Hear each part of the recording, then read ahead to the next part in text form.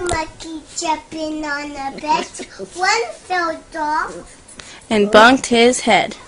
and Mama called Gaku, and Gaku said, No more monkeys jumping on the bed.